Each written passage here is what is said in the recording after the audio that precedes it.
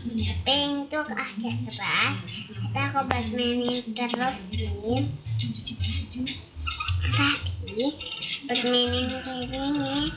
Buat kalau udah kita tuh kita mainin terus sampai kita aduk sampai benar-benar rata ya. Untungnya semua kejadian ini sudah terbongkar